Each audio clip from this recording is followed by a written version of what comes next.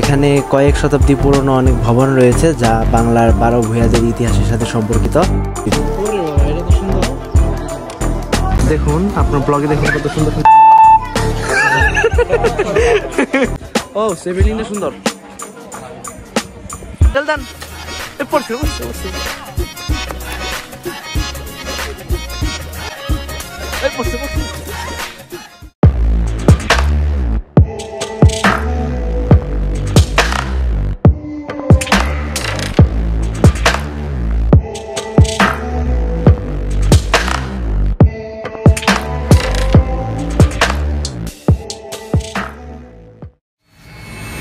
WhatsApp guys সবাই কেমন আছেন? আশা করি সবাই ভালো আছেন। তো আজকে আমাদের সোনারগাঁ ব্লগের সেকেন্ড এপিসোড এই এপিসোডে আপনাদের দেখাবো পানামনগর। এই পানামনগর ছিল প্রাচীন রাজধানী। এখানে কয়েক শতাব্দী পুরনো অনেক ভবন রয়েছে, যা বাংলার বারো ভূয়াদের ইতিহাসের সাথে সম্পর্কিত। আগে এখানে ঢুকতে কোনো টিকিট লাগতো না বাট এখন টিকিট লাগে, পনেরো টাকা প্রবেশ মূল্য। আর ফরেনদের জন্য একশো টাকা প্রবেশ মূল্য।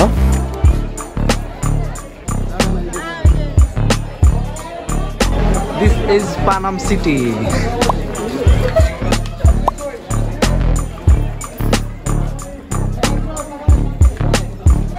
পনেরো শতকে ইসাখা বাংলার প্রথম রাজধানী স্থাপন করেছিলেন এখানে। সোনারগাঁর বিশ কিলোমিটার এলাকা জুড়ে এই পানামনগর গড়ে ওঠে।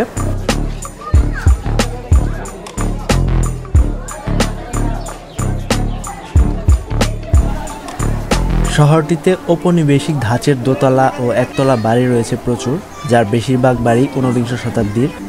মূলত পানাম ছিল বাংলার সে সময়কার ধনী ব্যবসায়ীদের বসতক্ষেত্র।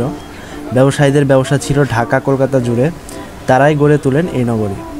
বাংলার স্বাধীন রাজা ইসা খাঁর পদচারণা ছিল এই নগরীতে। সুলতানি আমল থেকে এখানে বিকশিত ছিল বাংলার সংস্কৃতি। হ্যাঁ এটা সবচেয়ে সুন্দর বিষয়। উনচল্লিশ নম্বর এটা প্রাচীনকালে এক শহর ছিল, এখন পরিত্যক্ত শহরটি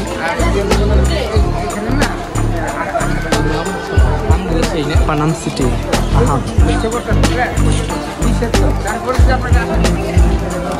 দেখুন, আপনার ব্লগে দেখুন কত সুন্দর সুন্দর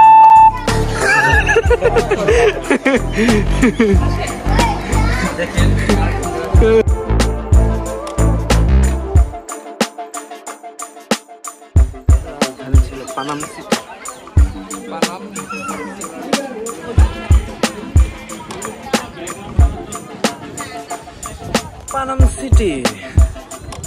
ও সে বিল্ডিংটা সুন্দর?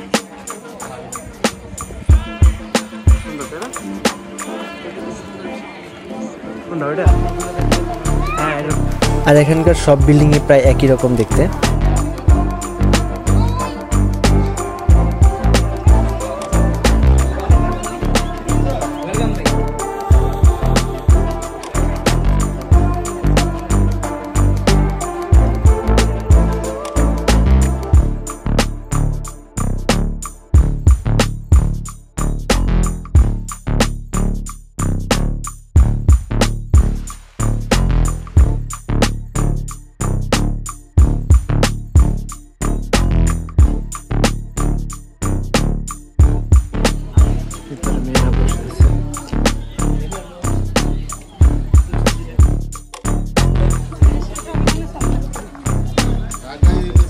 আর এখানে অনেক ধরনের ফলমূলের গাছ আছে, যার মধ্যে আছে লিচু গাছ, জামরুল। তো আমরা জামরুল আজকে পেরে খাব এখান থেকে। পনেরো টাকার টিকিট কেটে পানানগরে প্রবেশ করেছি। ফলমূল খেয়ে এই পনেরো টাকা আজকে কুশল করে নিতে হবে। এই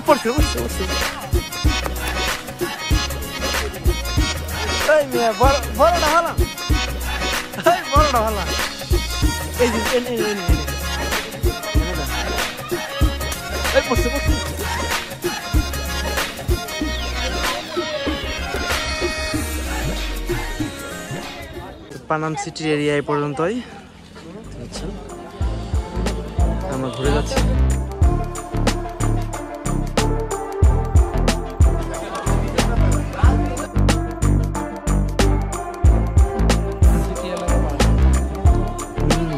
ধনী মানুষ হয়ে গেছে। মানে? বাংলাদেশের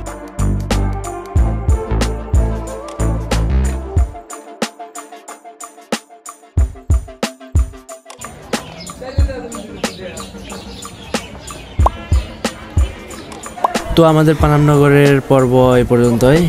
আবার দেখা হবে নেক্সট পর্বে। তো আপনাদের নেক্সট পর্বে দেখাবো বাংলাদেশের তাজমহল, যেটি সোনারগাঁয়ে অবস্থিত। তো সে পর্যন্ত আমাদের সাথেই থাকুন, আমাদের চ্যানেলটি সাবস্ক্রাইব করে। তো সবাই সুস্থ থাকবেন, ভালো থাকবেন, ধন্যবাদ।